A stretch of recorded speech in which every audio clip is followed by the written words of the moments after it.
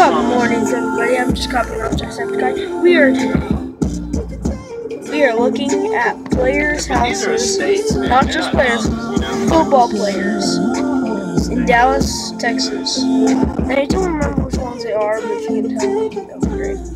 Yeah, that's Mark. See, um, it's driving really fast, and we're going through the famous players' houses, You know? best like of the best. for somebody. I don't know if I'd have cows. Now we're gonna actually come up square of, feet. I mean, of that's the, uh, the famous, Yeah, hers famous football on the road. players, Yeah, I got to eat that. and You know, here she's we are. from, she's from The ones that Austin, work for Texas. the She lives up here. Who, Sonia? the ones that, uh. She has a home here too. yeah, I think these are the Rangers. She's been here for, everything. you see her sometimes in the grocery store.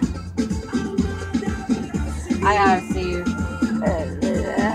Oh, but these, we'll go in these there and eat houses like are like last night. seven, eight million dollars or something. You know, whatever. you Yeah, know, all for things. each They're house. always around here.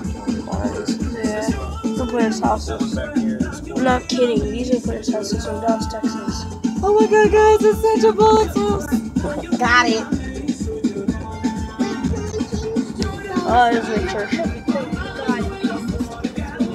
I didn't even know that was her house. My sister told me